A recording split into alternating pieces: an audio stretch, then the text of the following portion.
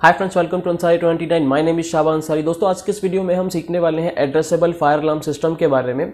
आ, मैं इस वीडियो में आपको बहुत ही बेसिक से बताऊँगा यानी जो हमारे इंजीनियर्स और टेक्नीशियंस जो अभी फायर एंड सिक्योरिटी इंडस्ट्री में अपना करियर स्टार्ट किए उन्होंने ये वर्ड ज़रूर सुना होगा एड्रेसेबल फायर अलार्म सिस्टम इस वीडियो में एक एनिमेशन के ज़रिए से समझाने की कोशिश करूँगा कि एड्रेसेबल फायर अलार्म सिस्टम जो है क्या होता है एक्जैक्टली देखिए फ़ील्ड पर लेके जाके आपको समझाना पैनल बताना और फ़ील्ड में डिवाइस बताना वो उतना इजीली आपको नहीं समझेगा ऐसा मेरा मानना है। तो मैं आपको जो है बहुत ही बहुत ही सिंपल स्टेप बाय स्टेप समझाने की कोशिश करूँगा कि एड्रेसेबल फायर सिस्टम एक्जैक्टली होता क्या और ये कैसे वर्क करता है।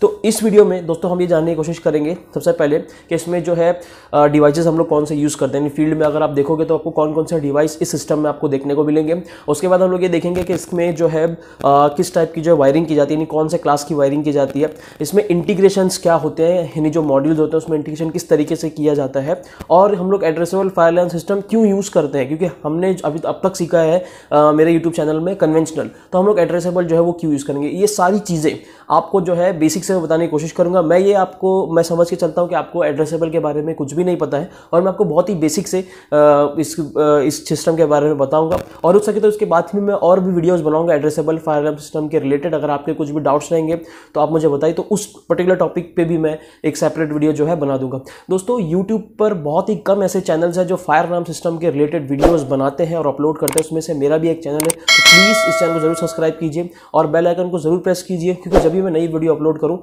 तो आप लोगों को उसका नोटिफिकेशन मिले और वो वीडियो देख सके। और वीडियो के देखने के साथ साथ आपके अगर माइंड में जो भी डाउट्स रहेंगे आप कमेंट बॉक्स में कर सकते हैं। और प्लीज़ वीडियो पसंद लाइक कर दीजिए और आपके फ्रेंड्स और कंपनी ग्रुप में इस वीडियो को शेयर कर लीजिए। चलो हम लोग वीडियो की शुरुआत करते हैं। दोस्तों, सबसे पहले हम लोग ये समझ लेते हैं कि एड्रेसेबल फायर अलार्म सिस्टम जो होता है, इसमें कौन कौन से डिवाइसेस हम लोग को फ़ील्ड में देखने को मिलते हैं? तो इसके अंदर आपको जो है फायर अलार्म पैनल उसके बाद इसमें आपको smoke detector heat detector multi sensor manual call point hooters monitor module control module isolators तो ये जो सारे डिवाइसेस आपको देखने को मिलेंगे एड्रेसेबल फायर अलार्म सिस्टम आप कहीं भी जहाँ प्रोजेक्ट जाके देखेंगे या आप सर्विस इंडस्ट्री में आप हैं तो आप जाकर अगर ये देखेंगे तो आपको ये सारी जो डिवाइस आपको मिलेंगे मिलेंगे।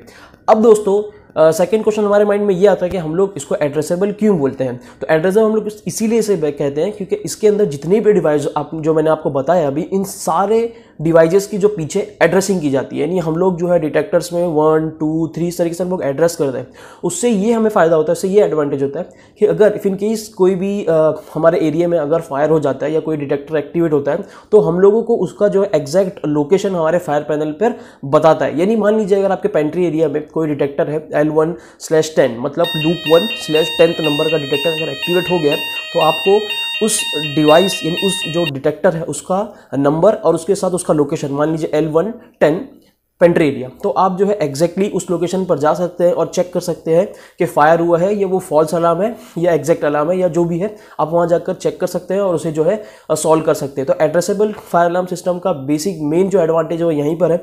अगर हम लोग इसके कंपेयर में कन्वेंशनल की बात करें तो कन्वेंशनल में अगर कोई भी डिटेक्टर एक्टिवेट होता तो आपको सिर्फ़ जोन इंडिकेट होता है पैनल पर। जैसा कि मैंने पिछली वीडियो में बताया, अगर आपने पिछली वीडियो नहीं देखा तो आई बटन पर मैं उसका लिंक दे दूँगा, आप जाकर वो वीडियो देख सकते हैं। तो वहाँ पर आपको जो फायर पैनल है, वहाँ पर आपको सिर्फ़ जोन बताएगा और आपको पूरा इंटायर जोन चेक करना होता है वन बाय वन जितने भी डिटेक्टर्स है उस जोन में तो इसमें आपका टाइम जाएगा। और वैसे भी हम लोग जो है, जो भी कन्वेंशनल पैनल्स होते हैं, वो हम लोग एक लिमिटेड जो एरिया है लाइक हमारा अगर टेन थाउज़ेंड स्क्वायर फीट का अगर एरिया है तो हम लोग वहाँ पर इंस्टॉल करेंगे तो वो छोटे एरिया में हम लोग ईजिली ट्रैक कर सकते हैं फाइंड कर सकते हैं। लेकिन अगर आपका मल्टी स्टोरेज बिल्डिंग है, या अगर आपका, मान लीजिए thirty thousand square feet forty thousand square feet का आपका पूरा इंटायर फ्लोर है तो उस एरिया में, उस पूरे फ़ील्ड में कैबिन्स हैं, कुछ बोर्ड रूम्स हैं अलग अलग रूम्स है वर्क स्टेशन है तो वहाँ पर जो है ट्रेस करना थोड़ा डिफ़िकल्ट है। इसीलिए हम लोग क्या करते हैं, जहाँ भी जो बड़े साइट्स होती है तो हम लोग वहाँ पर जो है एड्रेसेबल फायर सिस्टम को यूज़ करते हैं। दोस्तों, मैं आपको बताऊँ ये एड्रेसेबल जो सिस्टम होता है, ये इसकी एड्रेसिंग कौन कौन सा टाइप की होती है? अब अगर अलग अलग मैन्युफैक्चर के बाद आप देखोगे तो हर हर मैन्युफैक्चर की जो एड्रेसिंग की जो टाइप होती है, वो अलग अलग होती है। जो हनी अगर आप ले लोगे तो हनी में, जैसा कि आप इस वीडियो में देख सकते हैं हनी में रोटेटरी स्विच होता है, उसमें वंस एंड जीरोज के वंस एंड टेंस का जो दो ऑप्शन है उसमें स्विचेस होते हैं। आप स्विचेस के ज़रिए से with the help of switches आप जो है उसकी आ, ये एड्रेसिंग uh, कर सकते हैं। लाइक अगर आपको 11 नंबर देना तो आप वन वन रख दीजिए वन टू रख दीजिए ट्वेल्व तो इस तरीके से आप सिंपली जो है इसकी एड्रेसिंग कर सकते हैं। उसमें आप स्मोक डिटेक्टर में भी सेम रोटेटरी स्विच मिल जाएगा आपको एनसीपी में मिल जाएगा आपको हुटर में मिल जाएगा। तो सेम जो है आपको स्विचेस मिल जाएँगे और आप इस तरीके से इसकी एड्रेसिंग कर सकते हैं। और इसमें अगर आप दूसरे जो डिवाइस देखोगे तो इसमें आपका डिप स्विच होता है। तो आप डिप स्विच के ज़रिए से भी कॉम्बिनेशन ऑफ़ डिप स्विच के ज़रिए से भी जो इसके एड्रेसिंग कर सकते हैं। इसमें एक अलग टाइप का डिटेक्टर होता है, जिसके अंदर स्ट्रिप्ट होती है। आप जो भी स्ट्रिप्ट के बबल को आप जो है ब्रेक करोगे तो वो एड्रेस वो डिटेक्टर उठा लेता है। इस तरीके से इसमें एक एड्रेसिंग होती है। इसमें एक टाइप की एड्रेसिंग होती है, जिसमें हम लोगों को एक हैंड हेल्ड डिवाइस होता है और हैंड हेल्ड डिवाइस में हम लोगों को डिटेक्टर को कनेक्ट करना होता है और उस हैंड हेल्ड डिवाइस से हम लोग जो है मैनुअली हर एक डिटेक्टर को एड्रेसिंग देते हैं। दोस्तों, अब तक आपको इतना तो समझ में आ गया कि एड्रेसेबल फायर हम हम लोग सिस्टम क्यों यूज़ करते हैं और ये क्या होता है। अब हम लोग बात करेंगे कि इसकी जो वायरिंग है, वो किस तरीके से होती है। अगर हम लोग कन्वेंशनल की बात करेंगे तो वहाँ पर हम लोग क्लास बी वायरिंग यूज़ करते हैं। यानी जो भी केबल जो फ़ील्ड से निकलता है, वो रिटर्न नहीं आता है, वो एंड ऑफ़ लाइन जो रजिस्टर जैसे कि मैंने बताया हुआ पिछले वीडियोज़ में, वो वहाँ पर जाकर एंड हो जाता है। लेकिन अगर हम लोग एड्रेसेबल फायर सिस्टम की बात करेंगे तो उसमें जो केबल डिटेक्टर को जाता है, वो पूरे इंटायर फ़ील्ड में हर एक डिवाइस डिटेक्टर से होते हुए, वो केबल रिटर्न पैनल को आता है। उसको हम लोग बोलते हैं लूप और इस टाइप की वायरिंग को हम लोग बोलते हैं क्लास ए वायरिंग यानी अगर आपसे इंटरव्यू में किसी ने क्वेश्चन पूछ लिया कि एड्रेसेबल में हम लोग कौन से क्लास वायरिंग यूज़ करते हैं तो आप सिंपली इसको जवाब दे सकते हैं आंसर कर सकते हैं class A wiring in addressable fire system class B wiring in conventional fire alarm system चलिए दोस्तों, मैं एक लेआउट लेता हूँ। उस लेआउट में मैं आपको किस तरीके से फ़ील्ड में डिवाइस को इंस्टॉल करते हैं। एक छोटा सा एग्जांपल लेके आपको समझाने की कोशिश करता हूँ किस तरीके से इसकी केबलिंग जो है लूप से स्टार्ट पैनल से स्टार्ट होती है और रिटर्न पैनल को आती है। इसमें जो होती है वायरिंग सो लूप कहते हैं, उसमें मल्टीपल लूप जो सकते हैं। मान लीजिए आपका फ़र्स्ट फ्लोर पर आपने लूप वन यूज़ किया सेकंड फ्लोर पर आप लूप टू यूज़ कर सकते हैं थर्ड फ्लोर पर आप लूप थ्री यूज़ कर सकते हैं। अब एक क्वेश्चन हमारे माइंड में ये आता है कि एक लूप में सिंगल लूप में हम कितने डिटेक्टर या कितने डिवाइस इंस्टॉल कर सकते हैं? तो ये मैन्युफैक्चरर टू मैन्युफैक्चरर डिपेंड करता है। कोई इंडस्ट्री जैसे हनीवेल का अगर आप ले लोगे तो उसमें 99 डिटेक्टर्स आप इंस्टॉल कर सकते हैं। अगर आप सिंप्लेक्स में जाते हो तो 255 devices devices include detectors MCP and hooters तो ये मॉनिटर मॉड्यूल तो ये सारी जो डिवाइसेस हैं, उसमें हम जो इंस्टॉल कर सकते हैं। तो ये डिपेंड करता है मैन्युफैक्चर टू मैन्युफैक्चर के हम लोग कितने डिवाइस इंस्टॉल कर सकते हैं। तो चलिए दोस्तों, मैं आपको एक लेआउट के ज़रिए एनिमेशन वे के ज़रिए से आपको समझाने की कोशिश करता हूँ, कैसे हम लोग जो है फ़ील्ड में डिवाइस को इंस्टॉल करते हैं।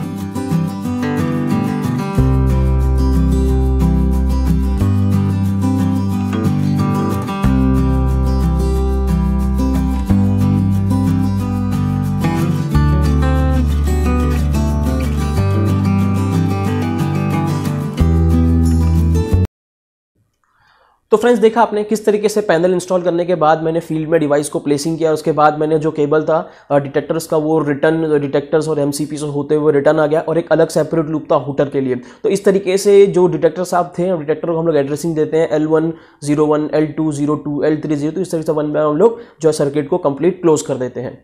अब दोस्तों हम लोग बात करते हैं इसके अंदर जो मॉड्यूल्स होते हैं। इसमें हम लोग जो तीन टाइप के मॉड्यूल यूज़ करते हैं। एक होता है आइसोलेटर मॉड्यूल एक होता है कंट्रोल मॉड्यूल और तीसरा होता है हमारा मॉनिटर मॉड्यूल आइसोलेटर मॉडल दोस्तों हम लोग यहाँ पर इसलिए यूज़ करते हैं। हम लोग क्या करते हैं, जो 2020 डिटेक्टर्स है, उसके बाद हम लोग आइसोलेटर मॉड्यूल यूज़ करते हैं। आप सभी को पता होगा कि आइसोलेट का मतलब क्या होता है सर्किट को ब्रेक करना। तो इफ़ इन केस अगर फ़ीड में कोई डिवाइस जो है फॉल्टी हो जाता है या कुछ भी डैमेज हो जाता है तो आइसोलेटर क्या करता है, उतने डिवाइस को आइसोलेट कर देता है और बाकी सर्किट को कंटिन्यूस रखता है, ताकि दूसरे जो जो डिवाइस है उन पर इसका कुछ अफेक्ट ना पड़े, कुछ भी प्रॉब्लम ना हो। तो इसलिए हम लोग जो आइसोलेटर यूज़ करते हैं। इन केस अर्थ फॉल्ट आ जाता है तो अर्थ फॉल्ट की वजह से हमारे डिवाइस दूसरे डिवाइस भी ट्रबल्स में जा सकते हैं, दूसरे डिवाइस भी फॉल्टी हो सकते हैं। तो उनको बचाने के लिए, उनको प्रिवेंट करने के लिए हम लोग जो है वहाँ पर आइसोलेटर मॉडल को यूज़ करते हैं। अब दोस्तों जो दूसरा मॉड्यूल है, वो है कंट्रोल मॉड्यूल जिसको हम लोग सीएम बोलते हैं शॉर्ट फॉर्म में। तो जो कंट्रोल मॉड्यूल होता है, इसका यूज़ होता है हम लोगों को कुछ दूसरा जो डिवाइस है, दूसरी जो पार्टी है, उसको हम लोग को इंटीग्रेशन करने के लिए। बेसिकली कंट्रोल मॉड्यूल और मॉनिटर मॉड्यूल ये हम लोग जो है इंटीग्रेशन पर्पज यूज़ करते हैं। कंट्रोल मॉड्यूल में हम लोग क्या करते हैं हम रिले के थ्रू जो है जो अभी हमारा डिवाइस है लाइक एक्सेस कंट्रोल का पैनल है। अगर हमें उसे ट्रिप कराएँ, मान लीजिए हमारा फायर कॉल मिल गया फायर अलार्म एक्टिवेट हुआ है तो उससे हम लोगों को इंटीग्रेशन करना एक्सेस डोर यानी एक्सेस डोर सारे ओपन होना चाहिए। तो हम लोग कंट्रोल मॉड्यूल का जो केबल है, वो हम लोग एक्सेस कंट्रोल का जो पैनल है, उसमें हम लोग दे देंगे, जो फायर इनपुट होता है, जो कि मैंने एक वीडियो बनाया था सेपरेट इंटीग्रेशन विद वो वीडियो का लिंक मैं आई बटन पर दे दूँगा, आप वीडियो देख लीजिए। तो उससे हम लोग इसे इंटीग्रेट करा सकते हैं। यानी हम लोग integration purpose control module use करते हैं, किसी भी अदर डिवाइस को हम लोगों को अगर सिग्नल देना है, यानी हम लोगों को आउटपुट देना है, आप जो है इलेक्ट्रिकल पैनल्स को अगर आपको स्विच करवाना है तो आप इलेक्ट्रिकल एल पैनल में भी इस केबल को दे सकते हैं, ताकि आपकी जो स्टॉप हो जाना चाहिए। उसके बाद आप जो है इसे फायर डैम्पर को दे सकते हैं, कि फायर इनकेस फायर हुआ तो फायर डैम्पर आपके क्लोज हो जाना चाहिए। तो आप जो है, इस कंट्रोल मॉड्यूल के थ्रू दूसरे जो डिवाइस होंगे अदर पार्टी के, वो आप जो है, इसे इंटीग्रेट कर सकते हैं। मान लीजिएगा आपको बिल्डर के पैनल को भी अगर आपको आपका स्टेटस पहुंचाना है तो आप कंट्रोल मॉड्यूल के थ्रू जो स्टेटस जो है, उसे भी दे सकते हैं।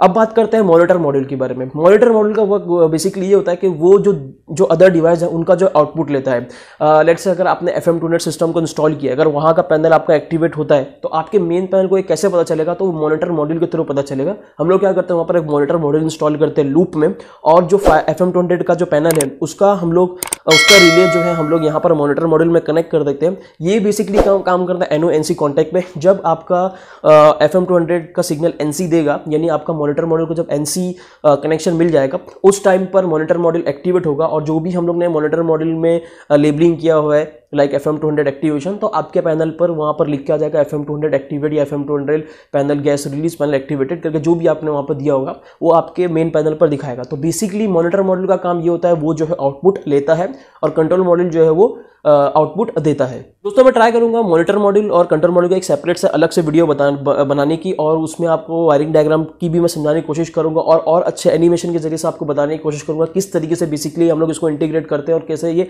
इंटीग्रेट होने के बाद ये वर्क करता है।